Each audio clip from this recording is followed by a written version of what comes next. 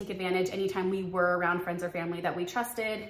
We definitely took advantage of that for date nights.